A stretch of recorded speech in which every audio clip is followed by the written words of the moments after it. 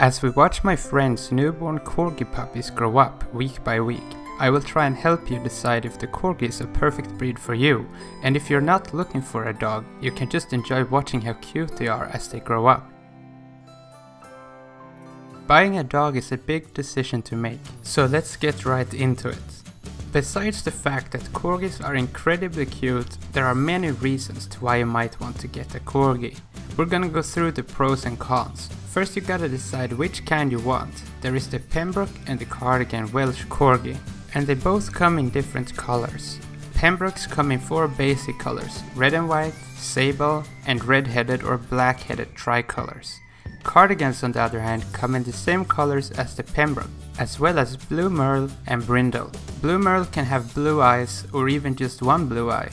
Pembrokes on the other hand always have brown eyes. The most noticeable difference between them is that the cardigan's tail isn't docked while the Pembroke's is. The Pembroke Welsh Corgis are getting more and more popular in the US, but their popularity in other countries have declined since they have banned the docking of dogs' tails.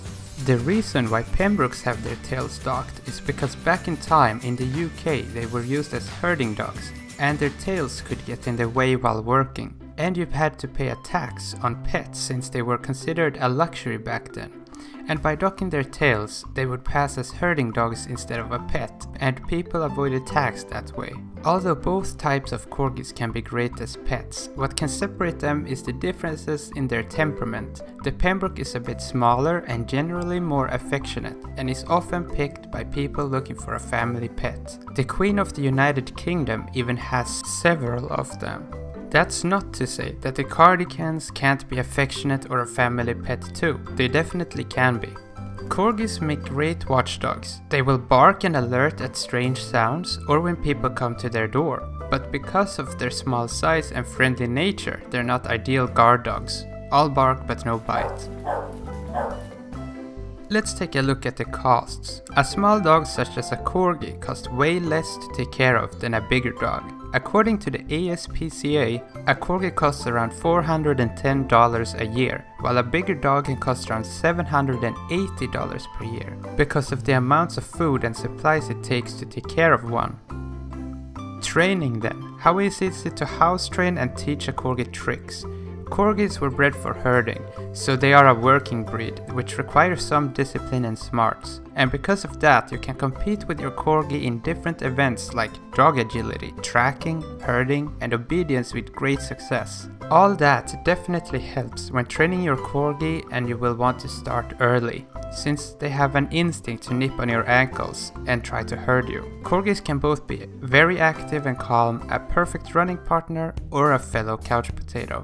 Meeting new people or having guests over won't be a problem if your corgi is well socialized. They can be protective and want to keep you safe, so make sure you socialize and play with your puppy. They do shed a lot, so make sure you have a vacuum cleaner. Most corgis shed twice a year.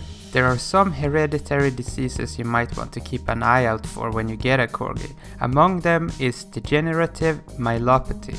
You can ask your breeder if your puppy is DM clear, that way you won't have to worry about that in the future. I'll put a link in the comments where you can read more about their hereditary diseases.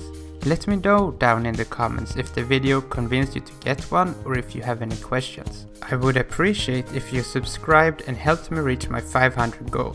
That way you'll get more videos like this one and in the meantime you could check one of these two videos out. Hope you enjoyed watching the puppies, see you in the next video and stay interested.